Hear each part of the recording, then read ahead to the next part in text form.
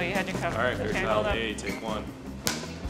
So, you know, right off the bat, I see, I see Ouch.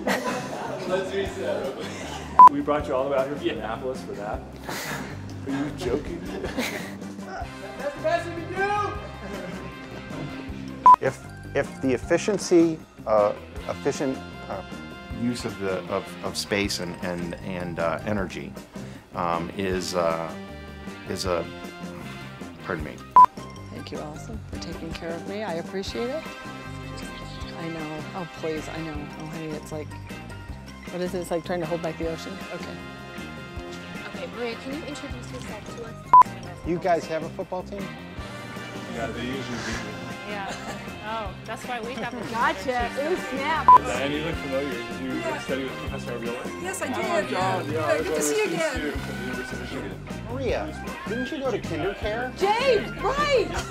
Good to see ya. We used, we used to have our cubby holes. Why are you tired? Now's your chance. Now's your chance. Sweating in areas we can't say on camera. No, I'm just messing with you. I'm just messing with you. I think we shared some great learnings. It's a bagpipe.